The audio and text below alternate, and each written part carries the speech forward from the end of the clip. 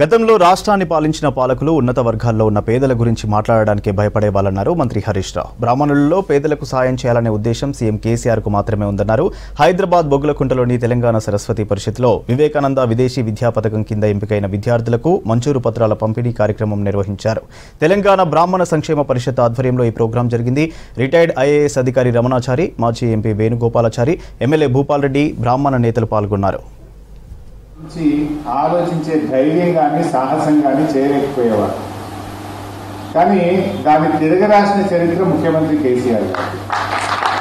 అసలు హిందూ ధర్మాలని కాపాడుతూ దీన్ని ముందుకు నడిపిస్తున్నటువంటి వారు మీరు. ఇవాళ మీ సంక్షేమం కోసం ఆలోచించడం అంటే ఇది హిందూ ధర్మ నిజమైన పరిరక్షణకు కేసీఆర్ గారు పాల్గొన్నారు.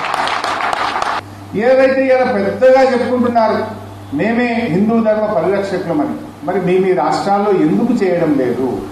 మీ మీ రాష్ట్రాల్లో పేద బ్రాహ్మణులు లేరా? ఈ హిందూ ధర్మ పరిరక్షణ అనేది పెదవుల నుంచి కాదు హృదయాల్లో నుంచి రావాలి. అది మన ముఖ్యమంత్రి గారి హృదయాల నుంచి ఈరోజు ఇది మనందరం కూడా చూస్తా ఉన్నాం. మాటలు మాట్లాడటం చాలా సులువు.